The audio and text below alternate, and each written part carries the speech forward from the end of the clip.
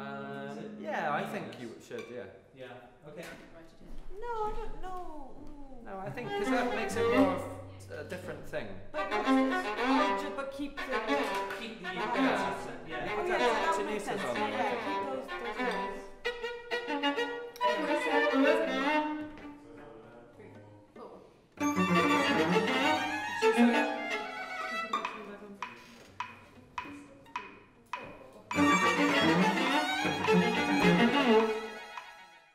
project started um, with a conversation that Rob and I had in uh, Tate Modern, actually a year ago.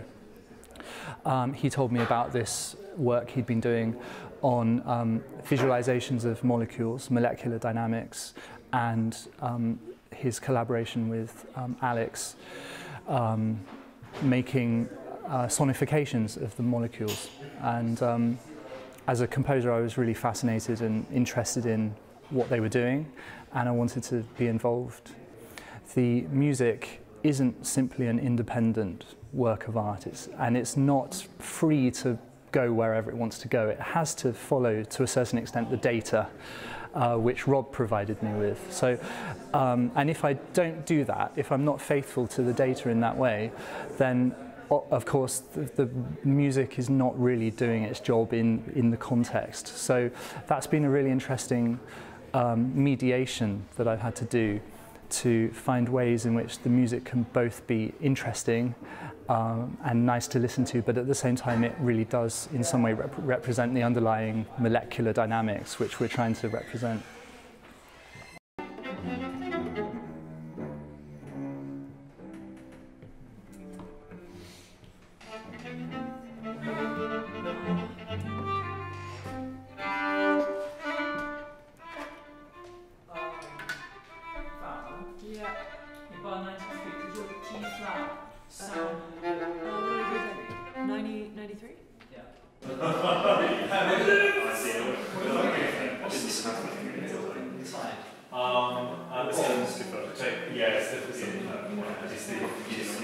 Challenges that uh, we have, that that scientists have in general, is coming up with compelling ways to communicate this data that they, you know, slave over all the time. Um, coming up with compelling ways to communicate the content and the significance of it. And so I think, you know, any sort of um, any sort of alternative sort of strategy for coming up with ways of reinterpreting that data in order to communicate it. I think how, how can help scientists understand what they're doing better. Also, I think it, by drawing artists into a conversation, it can help scientists see the data in new ways. But I also think it's it's really an you know, with the incredible amount of, with the huge volumes of data that are being produced, I think it's interesting to think about that data, which is a source of so much in our lives, as also a potential tap to enable artistic expression. I think that's a fundamentally interesting thing. This is quite a complicated project, lots of disparate moving parts. Um, can be quite hard to sort of convey all that information. We've been talking about this material for months now, and George has been sort of outlining some of his ideas, but it's all been in the abstract, you know. Um, so I can been able to imagine what some of it might sound like, um, but actually hearing it played in person is like a totally new experience. Had me jumping up and down the first time I heard it. It was awesome. Uh, so well done, George. Well, I've listened to them rehearse all day, and that piece is difficult.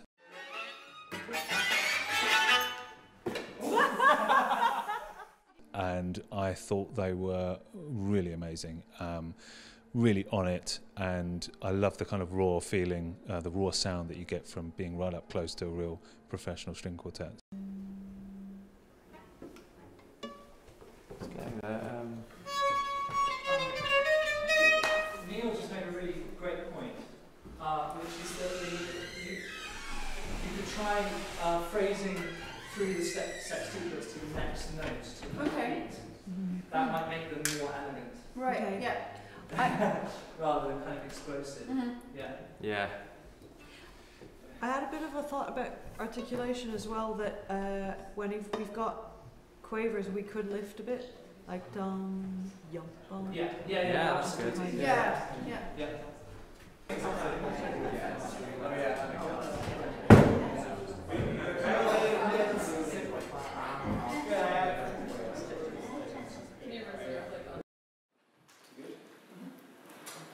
Okay, uh, welcome everyone. Uh, welcome to Metastable Impressions, uh, artistic representations of molecular dynamics. This is a project that uh, a group of us have been working on, kindly funded by the Jean Golding Institute.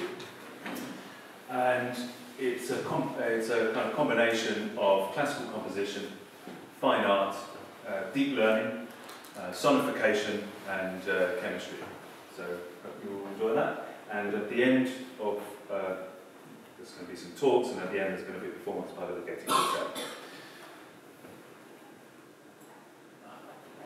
So just to briefly uh, introduce the team, um, Dr. Peter Bennett is the team leader uh, at the back over there. Uh, Dr. George, Holloway is the composer uh, at the back. Um, I'm Rob Arbon, I've been doing the visualizations and the modelling.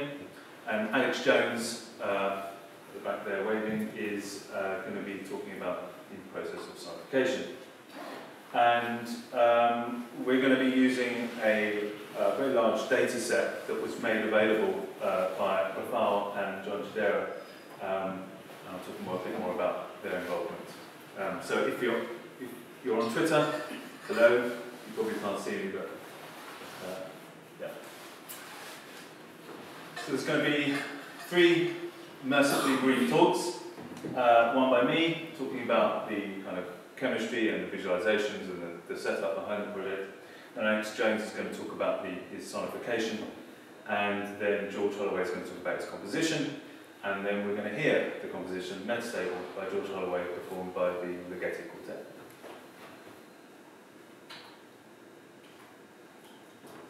So we've been um, uh, we've, we've, we've, we've, take, uh, we've taken a huge data set uh, from a recent paper. Uh, the catchy title is The Dynamic Conformational Landscape of the Protein Methyltransferase SETD8 and I will not be explaining any of that later. Um, but uh, I thought I'd better put the title of the paper there, seeing as uh, some people might want to Google it, um, and the uh, huge numbers of authors that were involved in the project. Um, it's a really great paper for the chemistry nerds, um, and for the chemistry, the non-chemistry nerds. Um, it's there also if you want to. With caution. So, uh, John Chodera and Rafael um, Wiewiora were um, are part of a, a, huge collaboration called Folding at Home. And what they do is they harness the power of uh, machines, your machine, you can be part of it, uh, to compute um, how proteins uh, move. It's a huge uh, process by which they uh, link up thousands and thousands of computers and run short snippets of how a protein evolves through time. And um, then, they, then they collect all that data and um, they plonk it on servers and then they analyze it. And so that's the Folding at Home project in a, in a nutshell. And um, I'm just going to show you, so this, this protein SETD8, which is shown up here, this blog, um, this is just a short, uh, a short snippet of um, what you would typically compute on your local, on your home machine, if you were part of this project. And this generates a huge amount of data. So if you were to watch all of the data at that frame rate for, um, uh, for a full-time job, it would take you about three and a half weeks to get through all of it. So it's a huge amount of data, and um, we want to be able to make sense of that data.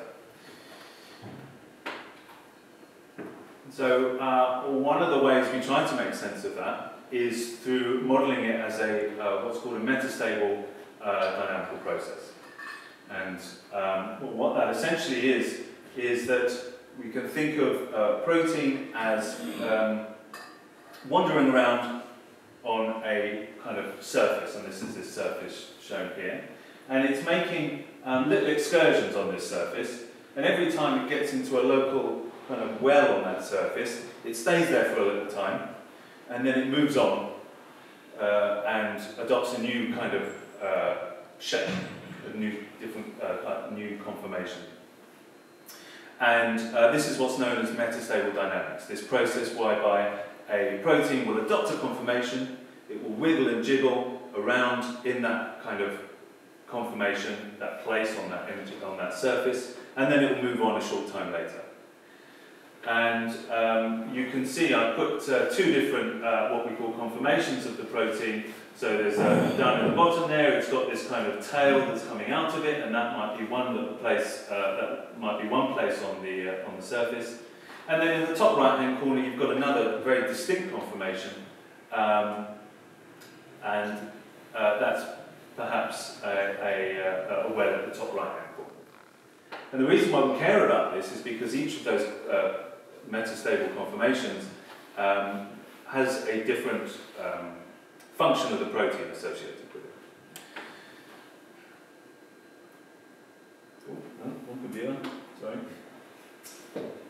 And um, the way that we want to think about this is that we have a lot of seen information. This seen or observed information is the, is the frames of the, um, of the simulation. That's the data that we, that we drag down off all of those computers. And that can be represented by the, um, by the uh, snapshots along the bottom there. So we can see this is evolving in time. So from the left, um, you know, a short uh, fraction of a, a, millisecond later, it will adopt another conformation. A fraction of a millisecond later, it will adopt another conformation.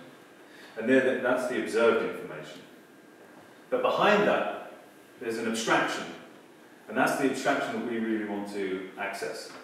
And that abstraction is called a hidden state, or a metastable state. And that's represented by the green, green blobs at the top. And we can label those, those hidden, uh, hidden states, metastable states. I've labelled them just arbitrarily 1, 2, 5, and 2. There's no meaning to that. Just, it's just, just a way of emphasising the abstract nature of the information that we want to, to glean from this model, uh, from this data. And in this, in this project, we have been focusing on uh, two aspects of the modelling process. We've asked ourselves, if we take a model of this data and we abstract out these hidden states, we want to know two things about those hidden states. We want to know how stable they are. If we have a conformation uh, that's, um, that allows a drug molecule to enter the, to the protein, we want to know how stable that conformation is, because that will tell us how effective our drug is going to be. Um, uh, but we also, and, the way we measure that is something called uh, free energy. And we'll uh, George and Alex maybe will, will talk about uh, more about the free energy later. But we also want to know how well we can classify each of the observed pieces of information as a hidden, uh, as a hidden state. So we've got this idea of certainty or uncertainty, and that's where we say, if we take a, a, a given confirmation, so in the, in, the, in the snapshot in the middle, there's just a given one single confirmation of the molecule, of the protein. And we've got to ask ourselves, does it belong to state 1 or does it belong to state 2? And, you know, on the left-hand side, we've got, a, we've got a bundle of different confirmations, all slightly different, and they all belong to state 1. And then on the right-hand side, we've got a bundle of confirmations, and they all belong to state 2. We know that for certain. But all the time, we've got to be asking ourselves, for any given confirmation, how well can we classify that as either state 1 or state 2? And so that's uh, something called the um, information entropy, or the Shannon entropy, and that's completely, well, that's a bit different to the kind of physical chemistry uh, idea of entropy, which some of you may be uh, familiar with. So that, that's, the, that's the two main things. We're interested in the stability or the free energy of, of, a, of, a, hidden, of a hidden state, a metastable state, and we're interested in how certain we can ascribe um, a given confirmation to that uh, hidden state. So as I said, Alex and uh, George are going to talk about um, how they've used those ideas of free energy and uh, entropy to inform their sonification uh, and, the, uh, and the composition. But I'm going to talk about um, how we represent this, how we represent the given confirmations.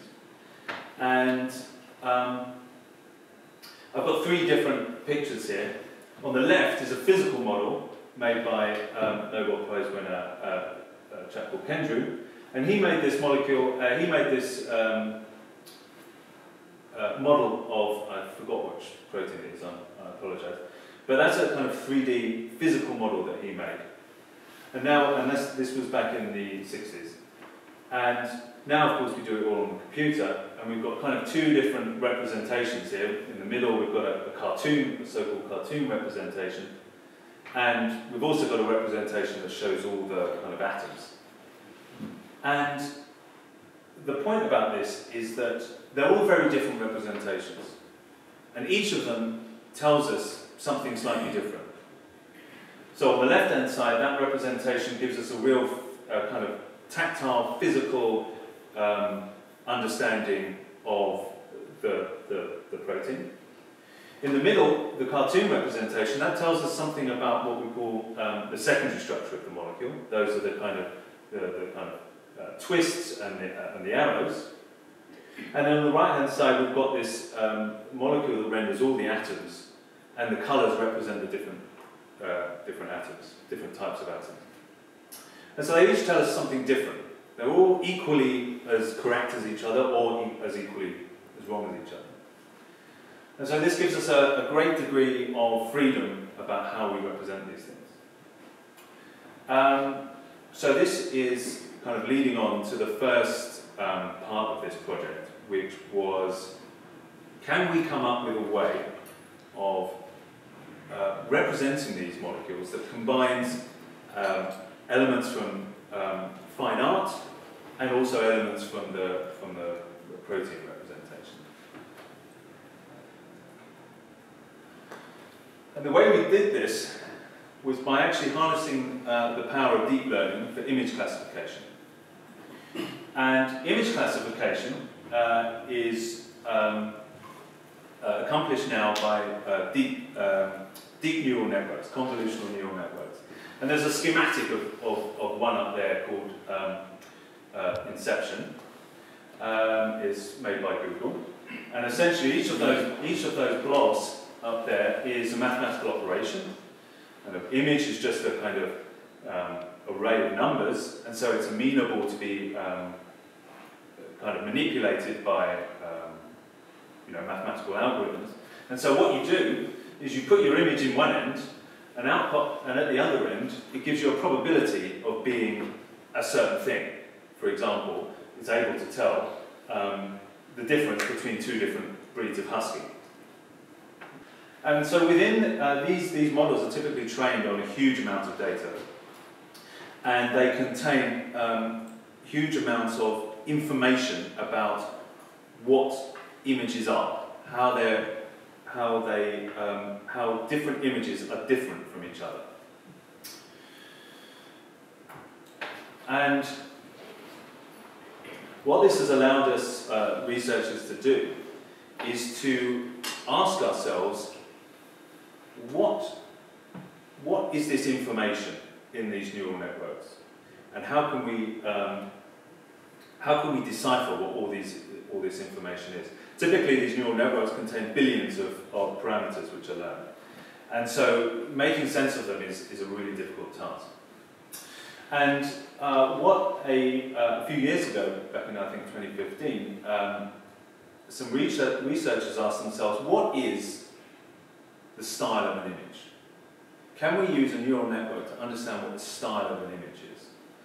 And that style is a kind of a broad term. It could mean it's not just brushstrokes or composition. It's a, it's a wide variety of things. And so um, this, this idea of uh, extracting style became quite popular because it was a way of understanding what neural networks see and, and, and how they work. And so what I want to show you, I'm not going to go into how exactly it works, but uh, what I want to show you is the top left-hand corner. There's a picture called by uh, Boucher, um, and it depicts Jupiter um, as, uh, as Diana and a nymph, and they're cavorting. And um, as, uh, as, as these images go across, we're taking different, um, we're, we're trying to see what that neural network thinks of us as style in different points in the network. So for example, you know, you could maybe ask yourself in one of those blue blobs, at that point, in this whole process of classifying the image? What does it think of as style? And then you might ask yourself, what, you know, a blue blob a bit further down, what does that uh, think of as style? And so I created these images um, which are looking at different layers within uh, the neural network and, and I'm asking the neural network, what do you think the style of that painting is? And as you can see, as you go through the network, um, it in the, in the first uh, in the first layer there, it picks up small brushstrokes. In the second layer, it starts to pick up um, more kind of uh, smaller scale features. In the bottom layers here, you can start to see kind of the, the limbs and the trees and the leaves. And these are larger scale stylistic features. Okay?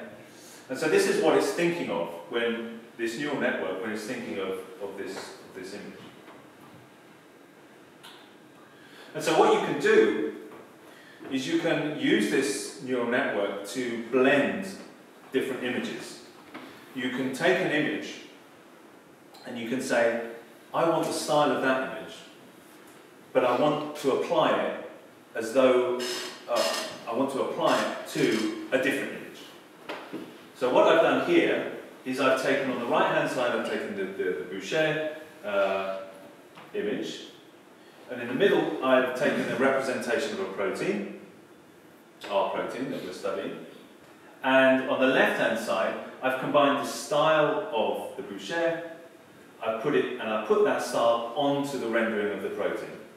And on the left, you can see that. So you can see, you know, elements, you can see um, the belly button of Callisto in, in certain uh, blobs on the, on the, on the protein. And so this was a way of, you know, combining style from uh, different painters throughout history onto different representations of proteins. And we thought this was kind of neat. Um, this is an idea that actually David Glowacki in the front row there uh, suggested to me a long while back, and we bashed our heads trying to get it to work, trying to get it to work, and eventually we did. Um, and so that leads us to the kind of the idea behind this this project. We wanted to um, sonify a molecular dynamics trajectory. A trajectory is just a, an evolution of the protein through time. And we wanted to bring out um, the different metastable states that it, it, it it brings up as it evolves through time.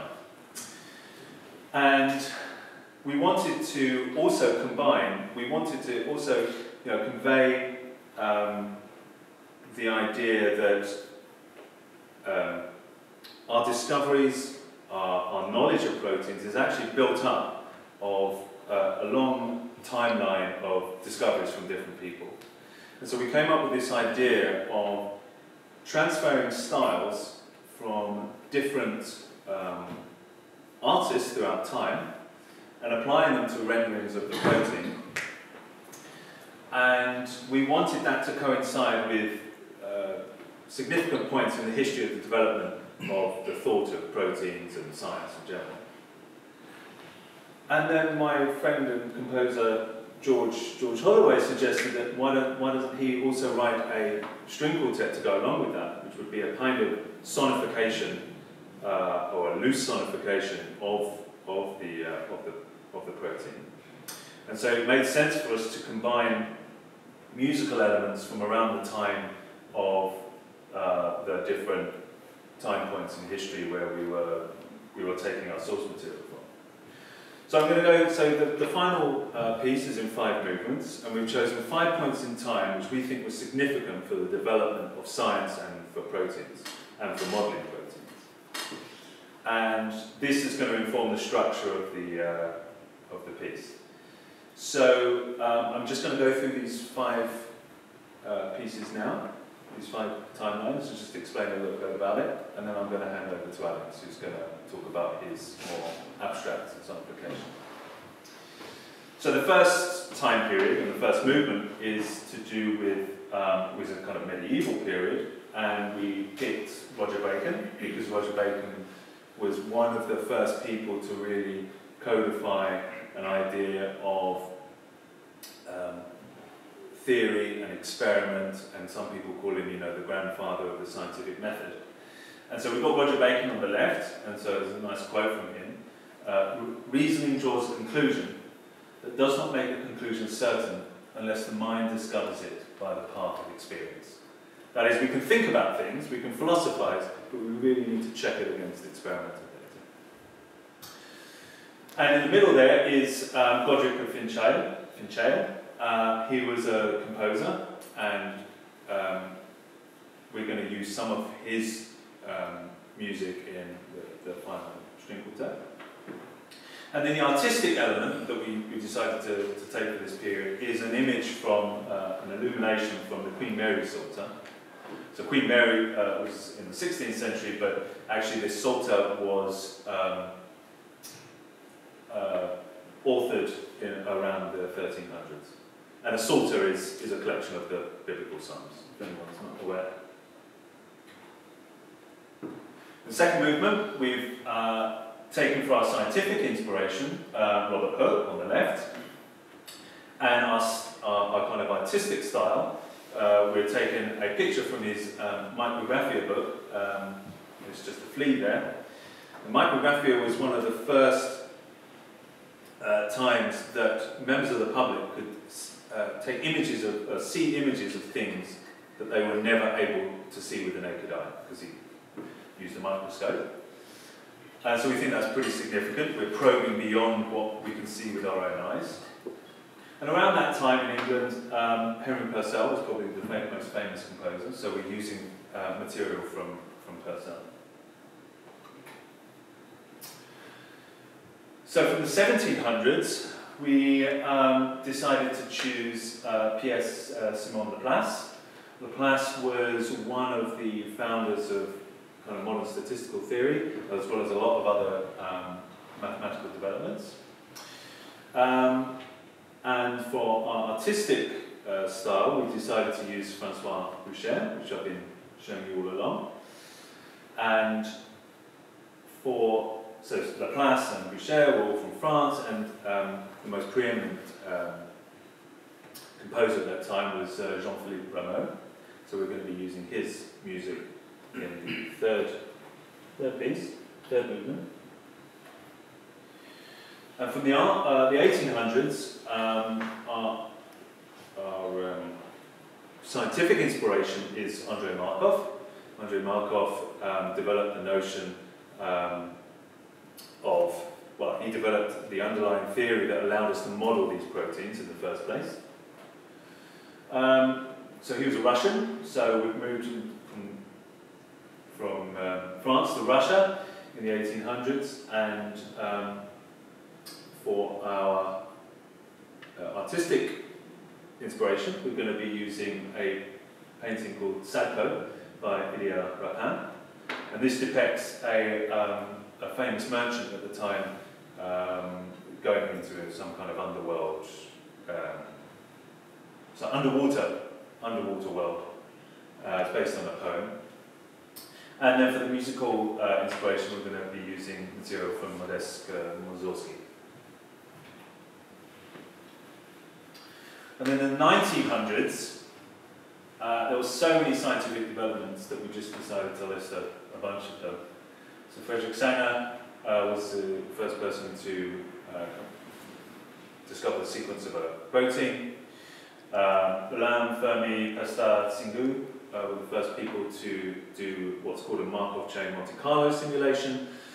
Um, and that's, that was using ideas from Andrei Markov. Um, a kind of significant development. Alder and Wainwright, um, they were the first people to do the kind of simulation, um, it's called a molecular dynamic simulation, and they were the first people to do that. Um, so that was obviously significant. And then down at the bottom there, but this uh, acronym, was a Baum and Petrie, they were the first people to develop this idea of a hidden process, extracting hidden information from observed process. And so HMM stands for hidden Markov model. Um, so this was all in the 50s and 60s, and uh, we decided to use Jackson Pollock as a, a stylistic inspiration. And for the musical inspiration, uh, we've, we've been using uh, Morton, Morton Feldman. So that's, so that's it from me.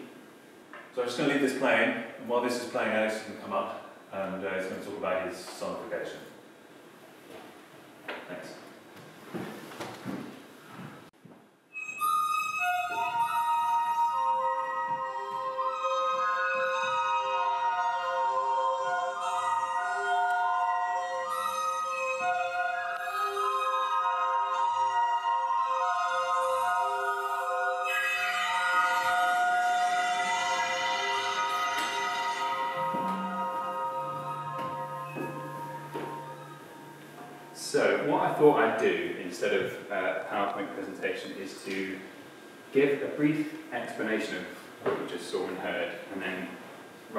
Dangerously attempt to give a live demo that kind of uh, maybe explicates uh, the sort of relationship between the sound and what you saw.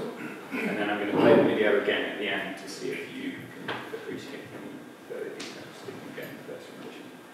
So that was a the, the sonification was of the data from the hidden Markov model, which Rob was explaining in his part of the presentation. Um, and so I think it's worth pointing out at the start that this is quite a different process to kind of creating sound for a moving image like you might do for an animation or something like that, where you might watch the kind of movement and pick out the salient features and try to design a sound that maybe corresponds to the movement. Instead, in this case, the sound is parameterized by a statistical model which represents the metastable dynamics of the system, uh, by which I mean to say there's a complex relationship between what you see in here. It's not necessarily straightforward. Uh, and the basic idea is that you see the geometrical configuration of the molecule changing over time, and what you hear, I hope, is the transition between the metastable states, um, and something about the stability of each state while, while the protein is in it, and then also something about the degree of certainty of that assignment, because it's not always a certain thing. Remember, each state can represent a number of different configurations of the protein. Um, so, let's try it. Okay, so there are five different states in the system that we're looking at here and each of the states is, uh, has a varying degree of stability. So I believe number three and four are the most stable, and they might sound. That's number three. So what you have here is a, a certain set of notes um, that are assigned to state number three, and then the system is choosing from that from that pool of notes, and the sort of timbre and volume of the notes is parameterized by the stability of that state.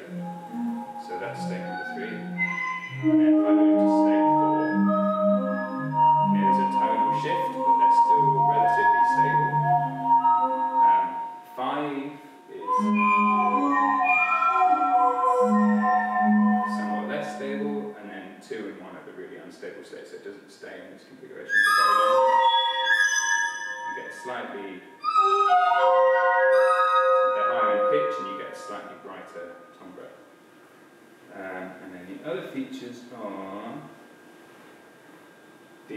absolute free energy, which is a byword for the stability of the molecule, um, that serves um, to modulate sort of tumble characteristics and the length of the note. So if I start playing notes and then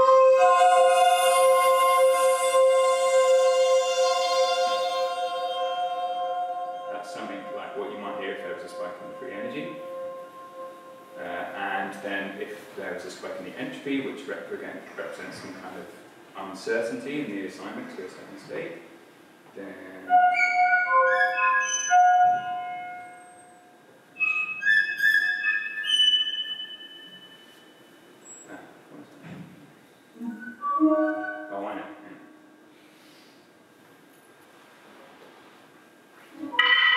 Ah,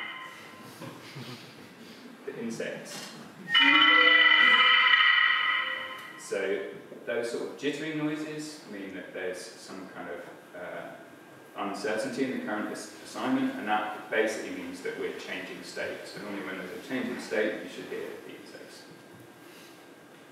So um, I think that's probably enough of an explanation. Maybe we'll take questions at the end if everyone has, if anyone has any. Um, but I think at this point we should.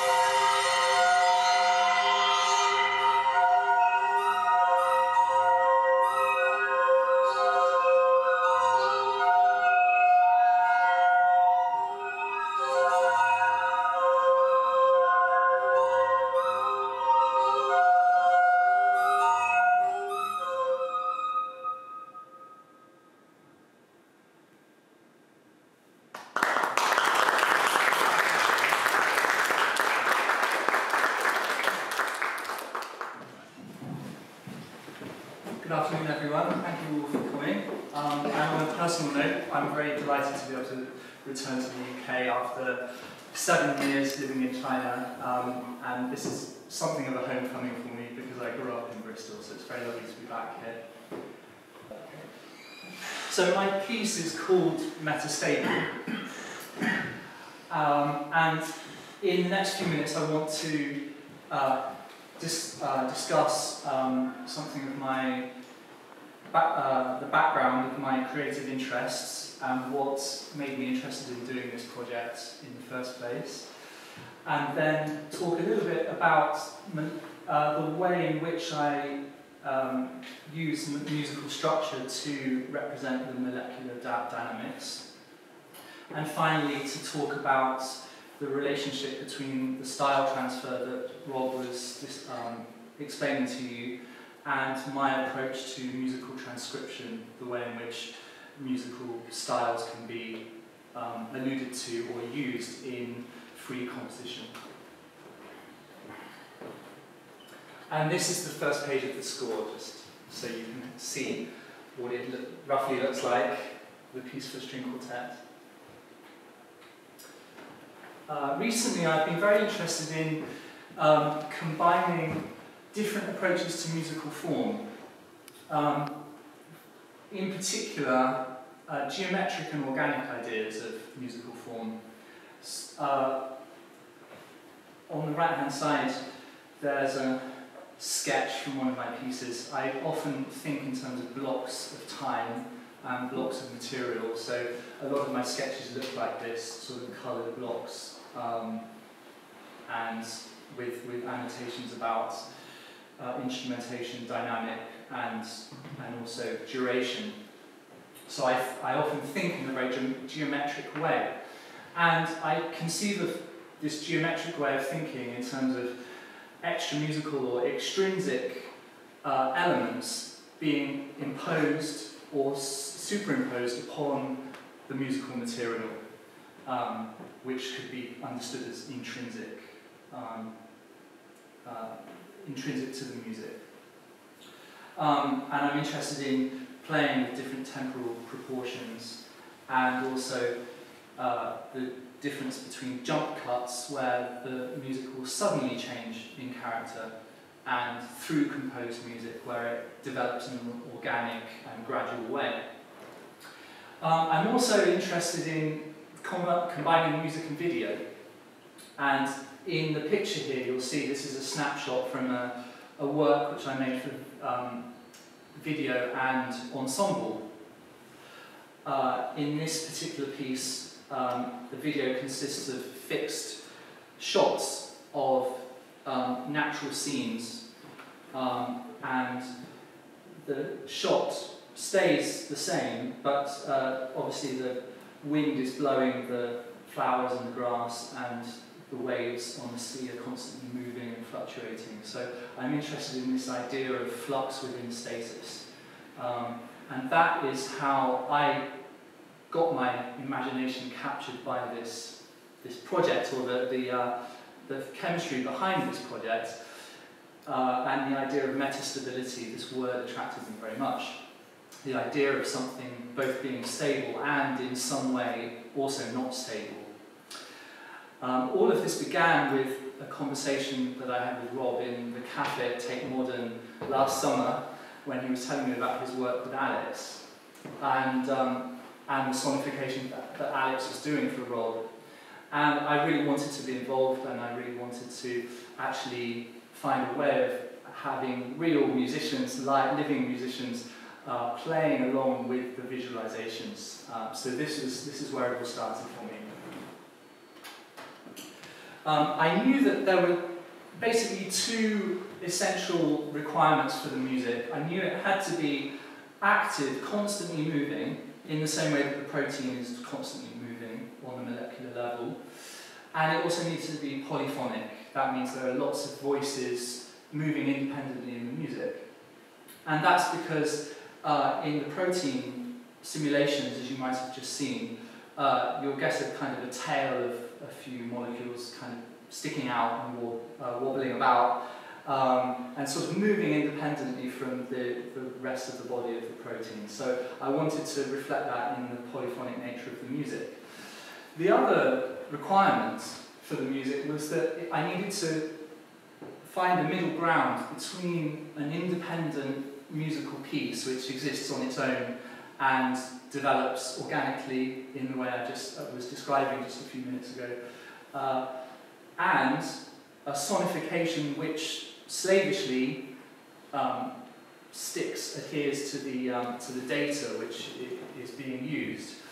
Of course, um, if the, I knew the music couldn't be too musical in the traditional sense, because then it would draw attention to its own musicality, and we would end up kind of enjoying the piece of music as a piece of music, and, and maybe neglecting its role as a sonifying element. Uh, but at the same time, it couldn't merely be a mechanical translation of the data because that would also not be interesting um, potentially to listen to. Uh, and so there's a useful phrase in this particular, in the literature, uh, relating to this, this field called data-inspired music. Um, and that's essentially what I was trying to do with this piece, with Metastable. It's essentially um, simultaneously a sonification, but also a piece of music that can be enjoyed as well. So Rob uh, provided me with the data. Uh, we had 16 sample trajectories, and I chose five of those 16 trajectories to be the five movements of the piece. When Rob gave me the data, it looks like this. So uh, there are three graphs essentially, and uh, from left to right it represents time. Um, and you can see in the top one, that's the, that shows the five states, the hidden states, um, which I interpret as being distinct musical materials. And below it, uh, you have the Shannon entropy, uh, which is the certainty with which we know that it's in a particular state or not. And I, I, I translate that in my musical thinking into a sort of clarity of identity of the musical material. Um, and then in the uh, and then the third graph is the free energy, and that in the music is a fluctuation in the degree of tension in the music. Um, so these, the Shannon entropy and the free energy I will explain in just a moment. Um, but one thing that struck me when I saw this graph, when Rob gave it to me, is how similar it is in some ways to certain graphic notations of the radical American composers of the middle of the 20th century, in particular uh, Morton Feldman on the left here and Earle Brown on the right. And in the case of the Morton Feldman piece, you might be able to see at the top there's a, a number next to the box, 158. That's a metronome marking. That tells you how many beats per minute this piece has to be performed at. So in a sense, this is a proportional notation, that time is proportionally notated from left to right across the piece, which is exactly how the graphs were that Rob provided me with. And on the right-hand side, we have a similar kind of um, symbolic notation, uh, suggestive of the um, uh, different types of material lasting for a certain amount of time and overlapping in different ways. Uh, so that was that really captured my imagination when Rob gave me the uh, the data, and I, in a way, I really treated his graphs as graphic scores, the instructions of which had somehow been lost.